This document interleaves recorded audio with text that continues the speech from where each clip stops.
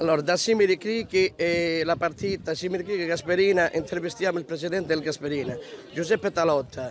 Questa, questa partita come è stata, presidente?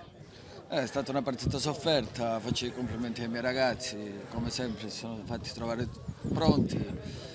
Avevamo tanti infortunati, però alla fine abbiamo vinto.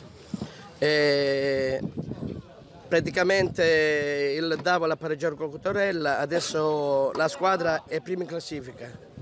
Eh, siamo primi, siamo stati sempre primi, solo due partite abbiamo fatto da seconda classificata, speriamo bene. Il girone d'andata l'abbiamo concluso primi classificati.